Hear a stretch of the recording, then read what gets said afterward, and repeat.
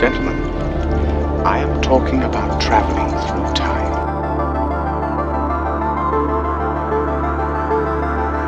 Welcome to BlueHat IL 2023, and today it's the retrospective edition.